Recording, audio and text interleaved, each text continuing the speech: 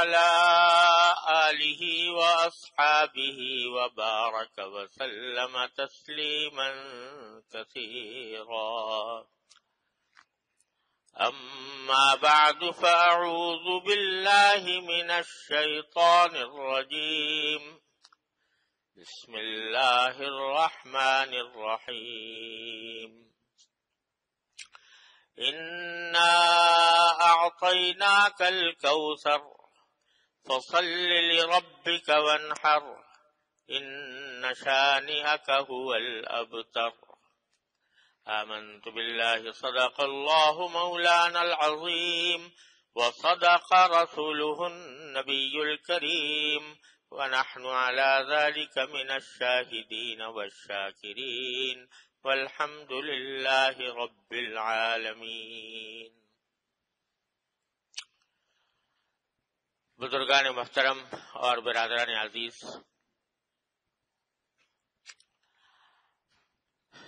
कुछ अरसा पहले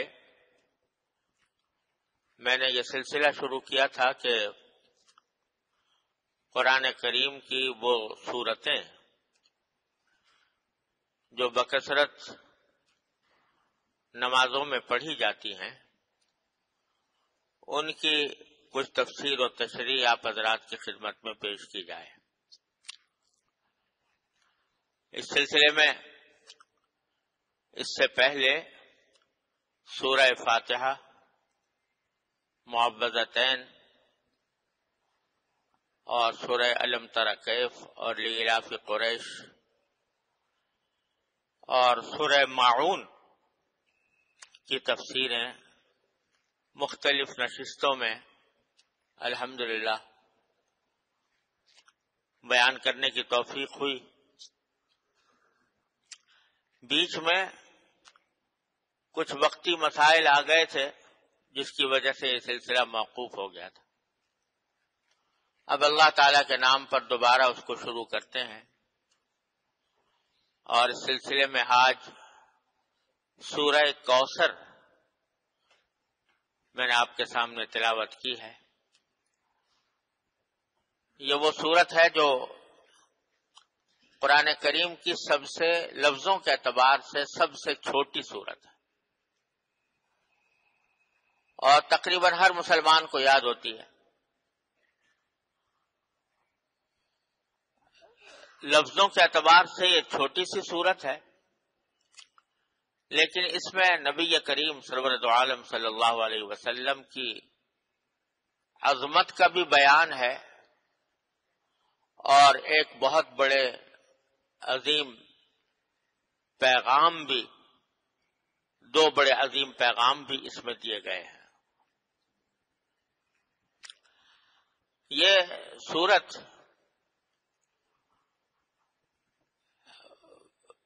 एक वाक़े के पस मंजर में नाजिल हुई, जिसका शान नजूल यह है कि जब नबी करीम सरवर आलम सल्लल्लाहु अलैहि वसल्लम के का निकाह हज़रत खदीजतुल कुबरा रज़ी अल्लाह तला से हुआ तो उनसे आपकी चार साहबजादियाँ पैदा हुई। और एक साहबजादे जिनका नाम कासिम आपने रखा था, वो पैदा हुए। लेकिन अल्लाह ताला को ये मंजूर था कि हजूर अकदस सरवर आलम वसल्लम की लड़कियाँ, आपकी साहबजादियाँ, वो तो अल्हम्दुलिल्लाह ज़िंदा रही और उन्होंने तवील उम्र पाई। लेकिन साहबजादे बचपन ही में इंतकाल कर गए। जब उनका इंतकाल हुआ तो मक्का मुकर्रमा के काफिर लोग, लोगों ने बड़ी खुशी मनाई। और उनके बाद सरदारों ने, जिनमें से एक का नाम आसिफ ने वाइल था, उसके बारे में रिवायात में आता है कि उसने किसी महफिल में ये बात कही कि देखो, हजूर अकदस वसल्लम की कोई नरीना औलाद नहीं है। जो हुई थी उसका इंतकाल हो गया। तो आपकी तो नस्ल ही नहीं चलेगी। आपकी तो नस्ल ही नहीं चलेगी। और कोई जब बेटा नहीं है तो आपके बाद कोई आपके का नाम लेने वाला भी अलियाबिल्ला बाकी नहीं रहेगा। और आपके बाद आपकी तहरीक और आपका दीन माजल्ला खुद ब खुद खत्म हो जाएगा। ये उसने एक महफिल में ये बात कही। और चूँकि अहले अरब के यहाँ सूरत ये थी कि किसी शख्स के बेटा हो तो बड़ी खुशनसीबी समझते थे। और कहते थे, इसकी नस्ल इससे चलेगी। बेटी हो तो बेटी को बुरा समझते थे, आर समझते थे, और समझते थे कि ये पुराने करीम में है कि अगर किसी के यहाँ बेटी पैदा हो जाती थी तो वो लोगों से मुँह छुपाता फिरता था। और ये कहता था कि मैं क्या करूँ कि मेरे यहाँ बेटी पैदा हो गई है। इसी वास्ते बेटियों को ज़िंदा दफन कर दिया करते थे बाद बाद कबीले।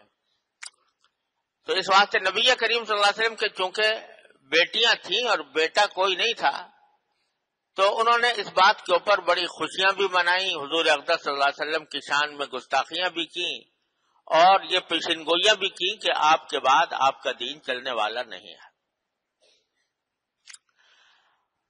उसके जवाब में ये सूरत ये सूरत नाजिल हुई है, जो तीन आयतों पर मुश्तमिल है। और एक हदीस में हज़रत अनस रज़ी बयान फरमाते हैं कि एक मरतबा नबी करीम वसल्लम तशरीफ़ फरमा थे तो आपके ऊपर एक कैफियत तारी हुई। वो कैफियत जो वही के नाजिल होने के वक्त तारी हुआ करती थी। जब आप पर वही नाजिल होती थी तो आपके ऊपर कुछ एक गशी किसी कैफियत तारी हो जाया करती थी।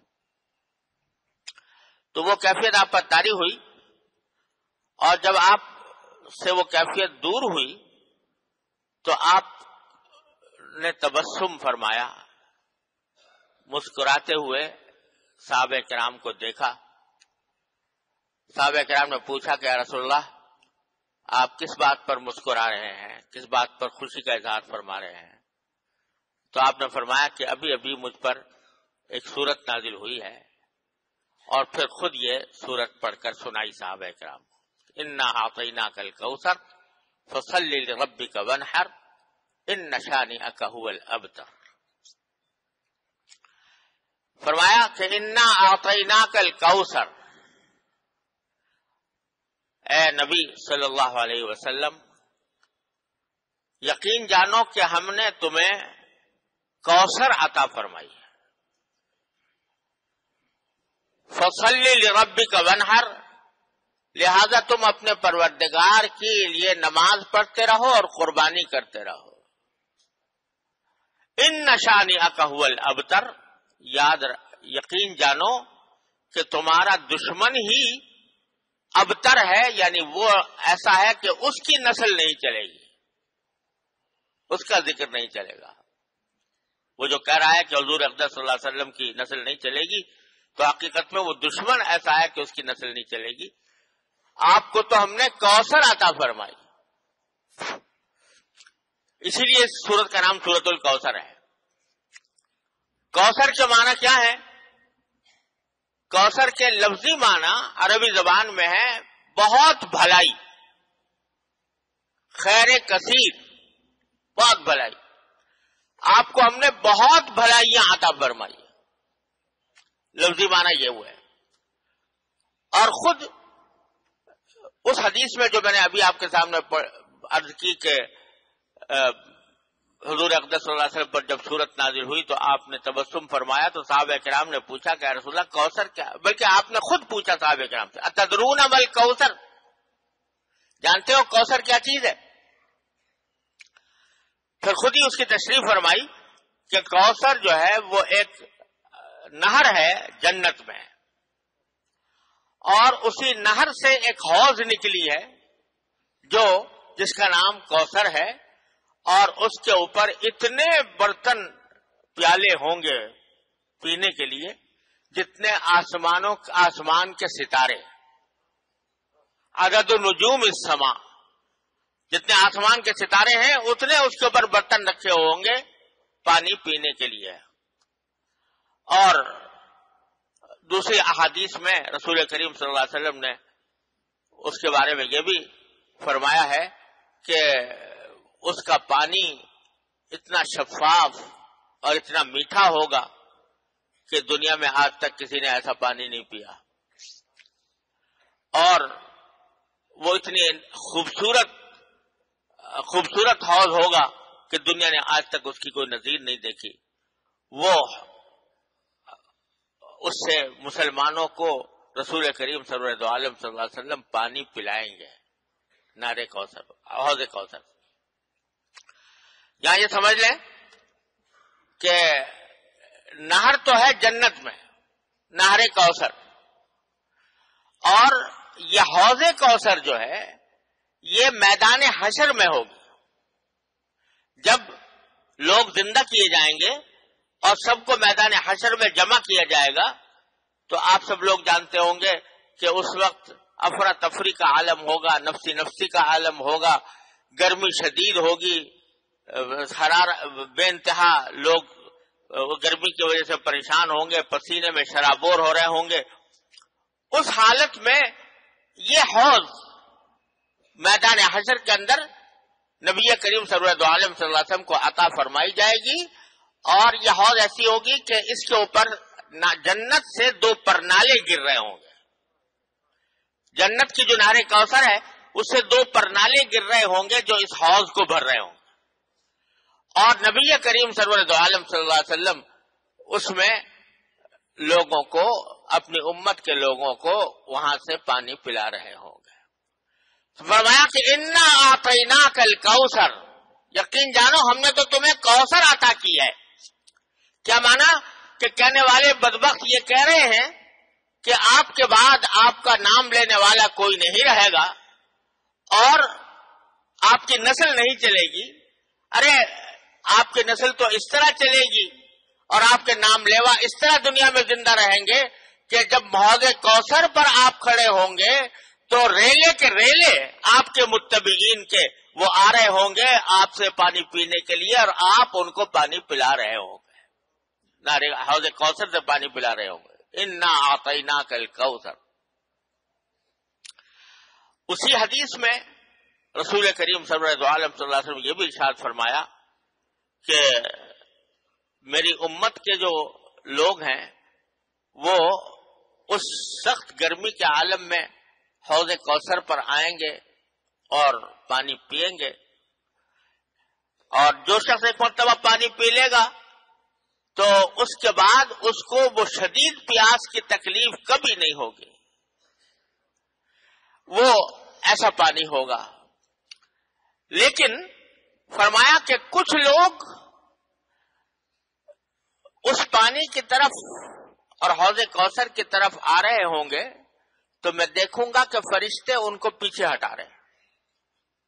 कि पीछे हट जाओ या नहीं आओ। हालाँकि देखने में वो मेरी उम्मत के लोग होंगे तो मैं उनसे, फरिश्तों से कहूँगा कि ये तो मेरी उम्मत के लोग हैं। फिर इनको आप क्यों हौज कौसर से हटा रहे हैं? तो उसके जवाब में फरिश्ते कहेंगे कि इन ला तदरी माँ अहदसू बादक आपको पता नहीं है कि आपके दुनिया से चले जाने के बाद इन्होंने क्या क्या काम किए थे? इन्होंने क्या क्या काम किए थे? इन्होंने वह कुफर इख्तियार कर लिया था। या निफाक में मुबतला हो गए थे। लिहाजा अगरचे ये आपकी उम्मत के अफराद तो हैं, लेकिन चूँकि ये आपके बाद मुर्तद हो गए, काफिर हो गए, या मुनाफिक रहे, इस वास्ते इनको इस हौज कौसर पर आने से रोका जा रहा है। अल्लाह ताला हर मुसलमान को इससे महफूज रखे। अल्लाह ताला हर मुसलमान को वहाँ पर हाजिरी की तोफीक अता फरमाए। लफ्ज तो यह है कि तुम नहीं जानते कि आप नहीं जानते कि इन्होंने आपके बाद क्या रास्ता इख्तियार किया था। ये डरने का मकाम भी है। अल्लाह तबारक वाली हम सबको इस अंजाम से महफूज रखे। उस कुफर से, उस शिरक से, निफाक से, ऐसी बातों से जो नबी करीम सरम वसल्लम की हौज कौसर पर जाने से रुकावट बन जाए। बहरहाल, आयत करीमा ने फरमाया, इन्ना आतना कल कौसर, हमने आपको ये कौसर अता की है। और ये कौसर खुद इस बात की दलील है कि आपका नाम कयामत ही नहीं, कयामत के बाद हशर नशर में और फिर हमेशा हमेशा के लिए आपका नाम नामी बरकरार रहेगा। कहने वाले हज़ार कहा करें कि आपके बाद आपका नाम लेवन ले लेवा कोई नहीं होगा, लेकिन हम बता रहे हैं कि होगा। इन्ना आतना कल कौसर। फिर फरमाया फ़सल रब्बी का वन हर दूसरी आयत। कि चूँकि हमने आपको ये नहर कौसर दी है, और नहर कौसर का लफ्ज तो के माना तो खास नहर के लेकिन जैसे मैंने अर्ज़ किया कि कौसर के लफ्जी माना बहुत भलाइयाँ तो बेशुमार भलाइयाँ आता की हैं। ऐसी भलाइयाँ कि आने, क्याम, क्यामत तक आने वाले, आपकी तारीफ़ व तोसीफ और आपके फजाइल कमालात का तस्करा करते ही रहेंगे। फ़सल रबी का वनहर। लिहाजा अल्लाह ताला की इस नेमत के शुक्र के तौर पर आप अपने परवरदिगार के लिए नमाज़ पढ़िए, वनहर और कुर्बानी कीजिए। क्योंकि अल्लाह तबारक ने इतनी बड़ी नेमत आपको अदा फरमाई है कि नारे कौसर भी दी और खैर कसीर भी दी। बेशुमार भलाइयाँ आपको अता फरमाई। तो उसके शुक्रिया के तौर पर अल्लाह तबारक वाली का शुक्र अदा करने के लिए आप नमाजें पढ़िए, अपने परवरदिगार के लिए। और कुर्बानी कीजिए। मकसद यह है कि अपने आप को अल्लाह ताला की इबादत में मसरूफ कर लीजिए। दुश्मनों के कहने की परवाह न कीजिए। दुश्मन जो जबान दराजियाँ कर रहे हैं, उसकी तरफ़ ध्यान न दीजिए। आप तो अपने काम में लगे रहिए और वह है अल्लाह तबारक वाली की इबादत। तो उसमें इबादतों में सबसे अजीम इबादत है नमाज़, लिहाजा नमाज़ का ज़िक्र फरमाया। और कुर्बानी का ज़िक्र इसलिए फरमाया कि काफिर मुशरक लोग जो थे, वो कुर्बानियाँ बुतों के नाम पर किया करते थे। कुर्बानी तो वो भी करते थे, लेकिन बुतों के नाम पर। ये हम बुतों को खुश करने के लिए, लात को, उज्जा को, हुबल को मनात को, जो उन्होंने अपने अपने बुत बना रखे थे तरह तरह के नाम उनके रखे हुए थे, उनके नाम पर कुर्बानियाँ किया करते थे। तो नबी करीम वसल्लम को तालीम दी गई कि आप अपने परवरदिगार के लिए, अल्लाह के लिए कुर्बानी कीजिए, ताकि इन बुत परस्तों के गलत तरीके की, के बजाय सही तरीका आप दुनिया के सामने पेश करें कि कुर्बानी तो बेशक बरहक है, लेकिन कुर्बानी वो अल्लाह के लिए होनी चाहिए। इसीलिए ये सुन्नत करार दिया गया है कि जब आदमी कुर्बानी करे तो ये कहे कि इन न सलाती व नुसुकी व महयाया व ममाती रब्बिल आलमीन। मेरी नमाज़ भी अल्लाह के लिए, मेरी कुर्बानी भी अल्लाह के लिए मेरा जीना और मेरा मरना भी अल्लाह के लिए, रब्बुल आलमीन के लिए है। तो दो बातें इस आयत से मालूम हुई। एक तो ये कि जो भी इबादत इंसान करे, उसमें अल्लाह के लिए, वो अल्लाह के लिए करे। अपने परवरदिगार की को राज़ी करने के लिए करे। उसमें दिखावा ना हो, उसमें नामो नमूद ना हो, उसमें रियाकारी ना हो। अल्लाह तबारक वाली के लिए खाल सतन अल्लाह को राज़ी करने के लिए करे। थोड़ा सा अमल हो, छोटा सा अमल हो, लेकिन इखलास के साथ हो, अल्लाह तबारक वाली की रजामंदोई के लिए हो तो छोटा सा अमल भी बड़ा कारामद है। अल्लाह ताला क्या उसकी बड़ी कीमत है। और बड़ा अमल हो देखने में, लेकिन अल्लाह के लिए ना हो, दिखावा मकसूद हो नाम नमूद मकसूद हो, शोहरत हासिल करना मकसूद हो, या दुनिया का कोई और मकसद पेश नज़र हो तो उस बड़े से बड़े अमल की भी अल्लाह ताला के यहाँ कोई कीमत नहीं। ये बात नमाज़ में भी है, ये बात कुर्बानी में भी है। कुर्बानी में कोई आदमी अपनी सतात के मुताबिक छोटा सा जानवर कुर्बान कर देता है, सस्ता सा लेकिन अल्लाह तबारक वाली के पेश नज़र अल्लाह के सिवा किसी और को राज़ी करना नहीं है। तो वो छोटा सा जानवर अल्लाह तबारक वाली के यहाँ बड़ी कीमत रखता है। और लाखों रुपया का जानवर खरीद लिया। और पेश नज़र यह है कि दुनिया वाह वाह करे कि बड़ा शानदार जानवर लेकर आए और बड़ा शानदार जानवर कुर्बान किया है।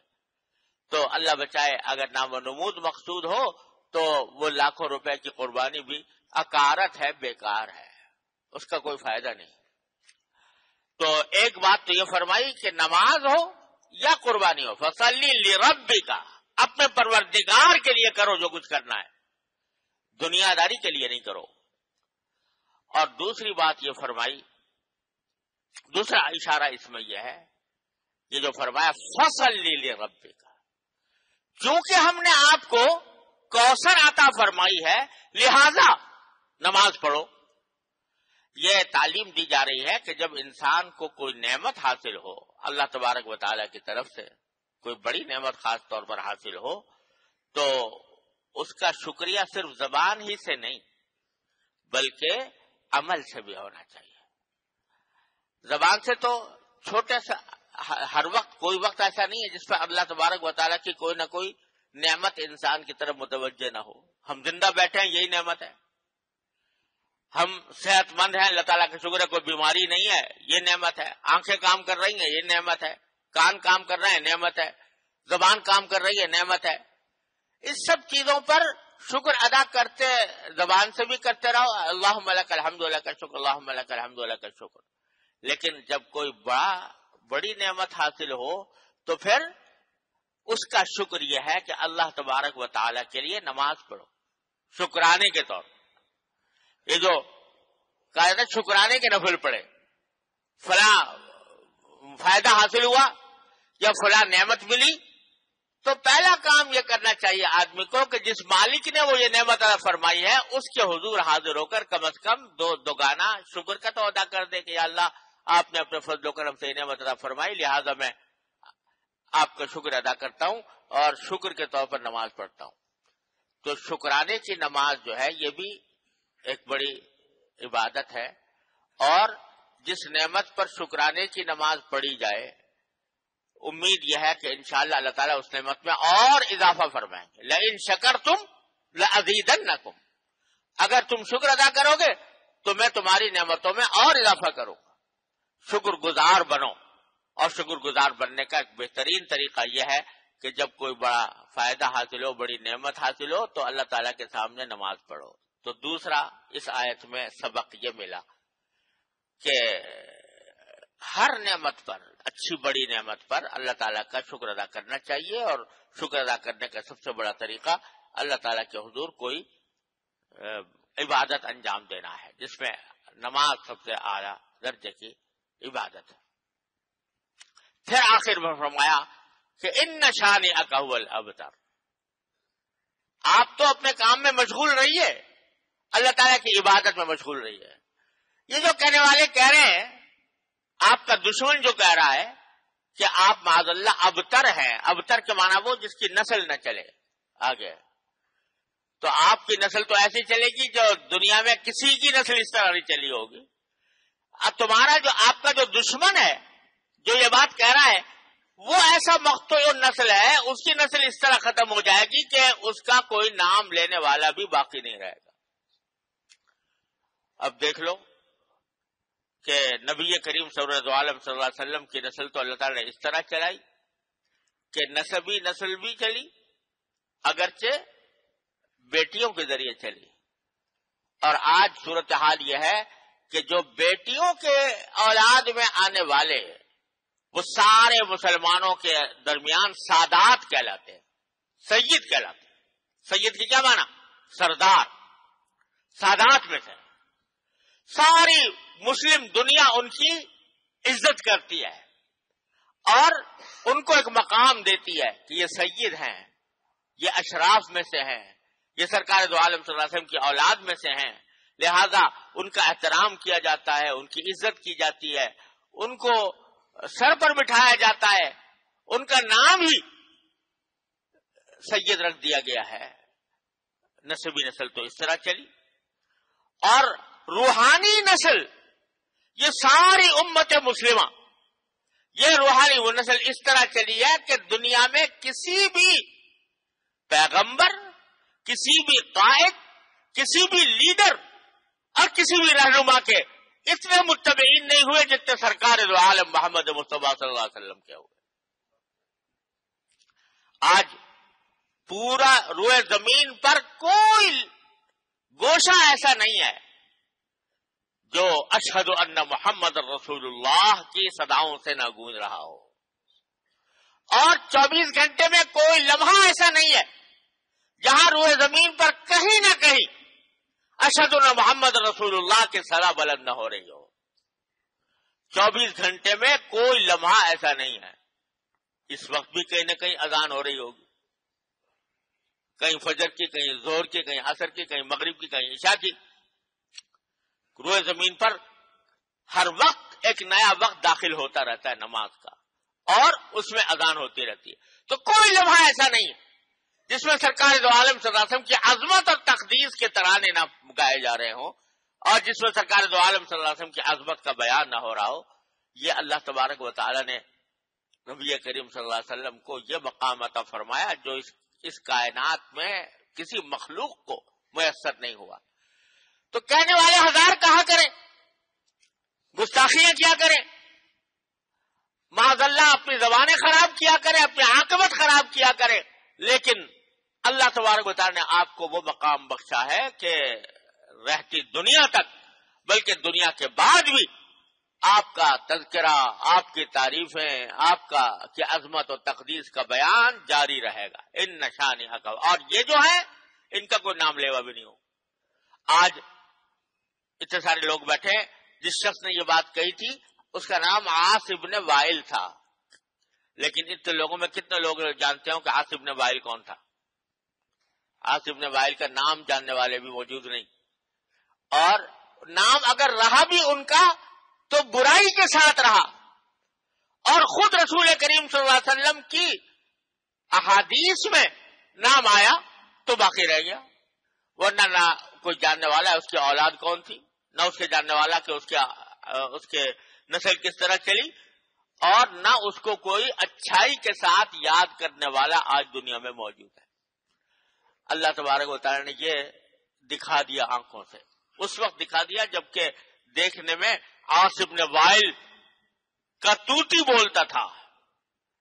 उसके सरदारी के तराने गाए जाते थे और यह महसूस होता था कि इसका शोहरत का सूरज कभी गुरूब नहीं होगा। और जनाब मोहम्मद रसूलुल्लाह सल्लल्लाहु अलैहि वसल्लम के मुतबीन थोड़े से थे, मजबूर थे मखहूर थे, तन्हाइयों में थे छुप छुप कर नमाजें पढ़ने वाले थे। लेकिन अल्लाह तबारक वाली ने उस वक्त ये पेशीन कोई फरमाई थी, ये कि ये तो तबाह हो जाएगा और इसका नाम बाकी नहीं रहेगा और आपका नाम क्यामत तक जारी रहेगा। अल्हम्दुलिल्लाह, ये बात आज खुली आँखों हर शख्स मुशाहदा कर सकता है। अल्लाह तबारक वाली अपने फजल करम से हमें जनाब मोहम्मद रसूलुल्लाह सल्लल्लाहु अलैहि वसल्लम की तशरीफ़ लावरी की नेमत को कदर की, कदर करने की तोफ़ी अता फरमाए और आपके तालीमत पर अमल की तोफ़ी अता फरमाए। वाखर दावान अलहमदिल्ला